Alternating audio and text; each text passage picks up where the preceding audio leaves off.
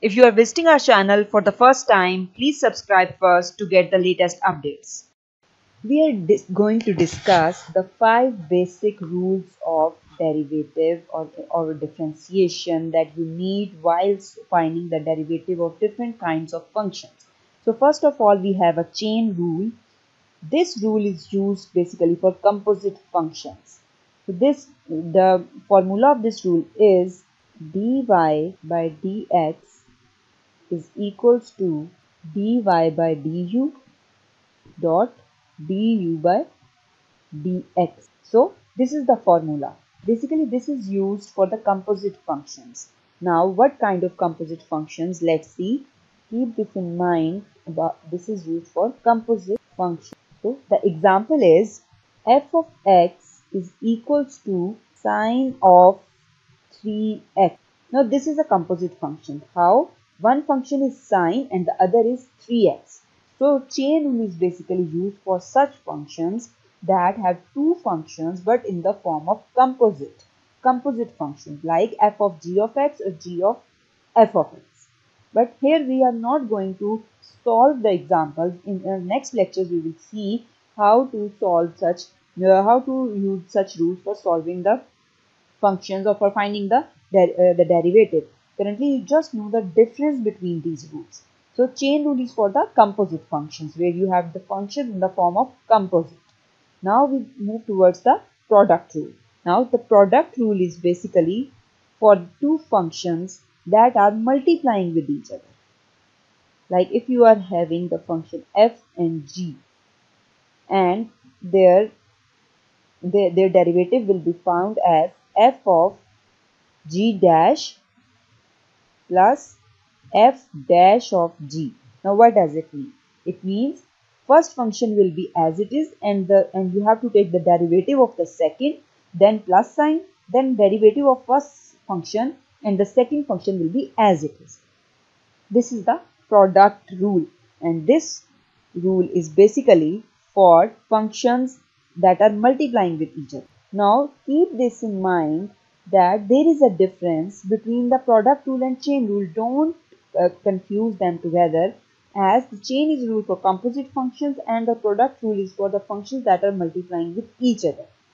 For example, f of x is equals to sine cos x. Now this is the function that is having the two functions multiplying with each other. One is sine x and the other is cos x. So they are multiplying with each other. They are not the composite functions.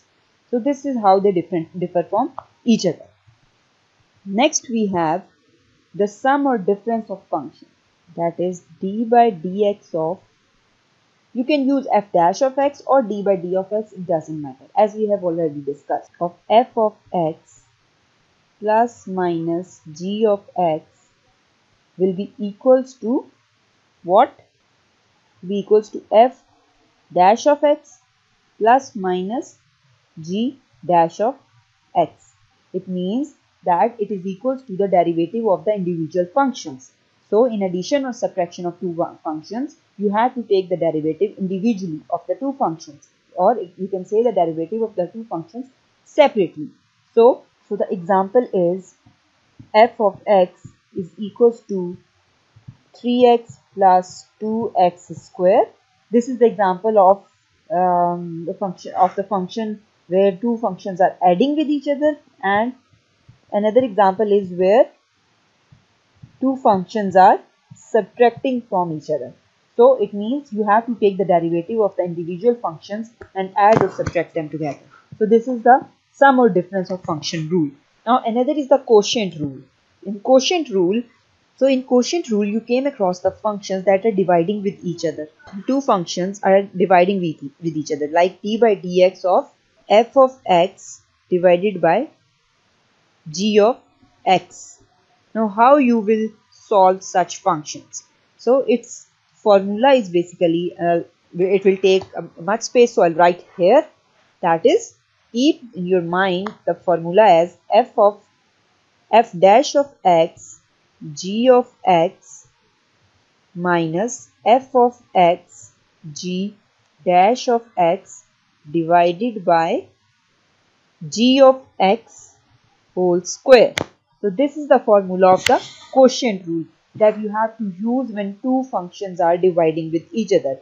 So the example is, I'll write the example here as when two functions are dividing with each other that is y equals to sine of x divided by cos of x. So the functions like this where both the functions are dividing with each other then you have to use the quotient rule in order to find their derivative. Now we came towards the reciprocal rule. Now what is the reciprocal rule? In reciprocal rule you came across the functions like you have to find the derivative like 1 divided by f of x in the function in the reciprocal form. So you can find its derivative as minus f dash of divided by f square. Now what does it mean? It means if you uh, if you came across the function like this then you have to put the negative sign in the derivative and you have to take the derivative of the given function in the numerator and you have to take the square of the function in the denominator. Let's see what kind of function it will be. Let's have an example where you have d by dx of 1 divided by x. This is the reciprocal of x. So, its derivative will be what is minus, you have to put the minus then f dash. Then this is the function and you have to find its derivative that is f dash is 1. So, minus 1 divided by and what is x uh, what is f square? F square is the square of the given function. Function is x so i'll take square as x square. So the derivative came out minus 1 divided by x square. So this is how you have to use these five rules when you came across the functions like that like we have mentioned in the example then you have to use just the formulas in order to solve such functions. And then after solving you just need to apply the, the power rule to solve them but in the next lectures we will see with the examples that how you can solve the different types of functions by using the chain rule or product rule or the sum or difference of function or quotient rule or reciprocal rule. So we'll see it in detail in the next few lectures. So stay tuned. Thank you. Thank you for watching. If you like this video, please don't forget to subscribe our channel math.com for more updates. Thank you.